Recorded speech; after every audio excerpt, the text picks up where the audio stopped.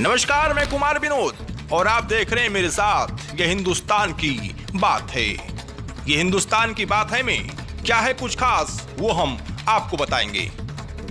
बरसात आने पर मेढक टर टर की आवाज़ें करता है।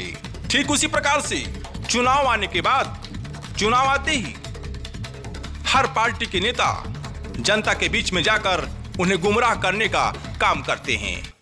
और एक ऐसा ही मामला उत्तर प्रदेश के जनपद फरुखाबाद से आया है। आइए, ज़ीरो ग्राउंड से पहले हम आपको ये रिपोर्ट दिखा दें। भाजपा विधायक का अजीबो गरीब बयान सामने आया है। अमृतपुर से भाजपा विधायक सुशील साक ने ये बड़ा बयान दिया है, जनता की यादाश्त को कमज़ोर बताया है।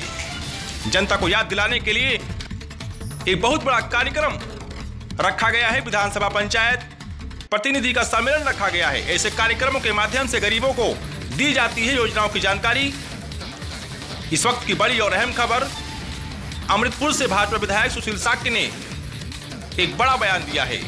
जनता की यादाश्त को कमज़ोर बताया है। और भी क्या कुछ कहा है, आइए जल्दी से पहले हम आपको ये रिपोर्ट दिखा दें। जो गरीबों के लिए काम किए गए हैं चाहे गैस का कनेक्शन हो चाहे प्रधानमंत्री आवास हो चाहे शौचालय हो इसको दोबारा सबको स्मृति कराएँ याद दिलाएँ और भारतीय जनता पार्टी की दोबारा सरकार बने। विधानसभा अमृतपुर में भारतीय जनता पार्टी को जहाँ तिरानवे हज़ार वोट विधानसभा के चुनाव में मिला था लोकसभा के चुनाव में एक लाख दस हज़ार वोट मिला था अगले चुनाव में हमारी अपेक्षा है कि एक लाख पच्चीस हज़ार वोट अमृतपुर विधानसभा में भारतीय जनता पार्टी को मिले उसमें उन सबसे सहयोग मांगा गया सहयोग मांगा।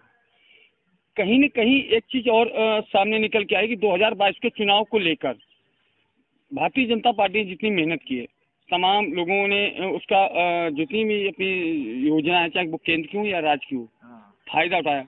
तो कहीं न कहीं क्या आपको लगता है कि हमारी योजना आम जनता तक नहीं पहुँची है? नहीं नहीं जन आम जनता तक योजनाएँ पहुँची हैं लेकिन जनता की याददाश्त बहुत कमज़ोर होती है। हम केवल उनको याद दिला रहे हैं कि ये भारतीय जनता पार्टी के प्रधानमंत्री नरेंद्र मोदी और योगी जी के कारण संभव हुआ है और इसलिए हम तो आश्वस्त हैं।